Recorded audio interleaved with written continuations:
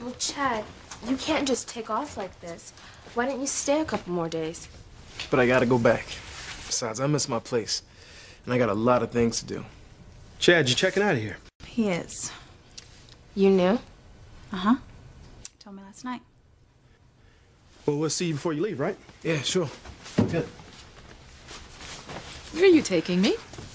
To Never Never Land. To the world of bills. Phone bills. A lot of phone bills. Dental bills. You know, I hope you're leaving, Chad, because you want to do the right thing. What do you mean, do the right thing? The boy got her pregnant. Isn't even talking to her now. He's acting like he barely knows her. Oh, poor thing. Well, I wonder who the guy is that turned his back on her. Anybody that we know? That's the worst part. They're saying it's Chad.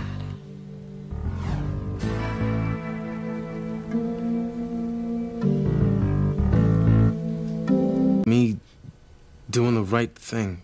She probably means you should be getting back to your music. Yeah. Yeah, that's why I want to get back to my own place, you know. Get things started again. Because uh, I've been sidetracked here way too long with nothing in it for me.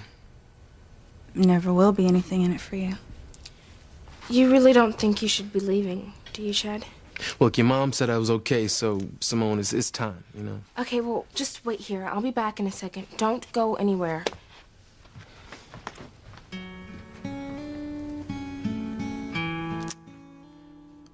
I should get my stuff. Chad, I'm gonna miss you. Me too. Listen, take care of yourself, all right? Always remember, special girl. Better let Chad go. Smoke.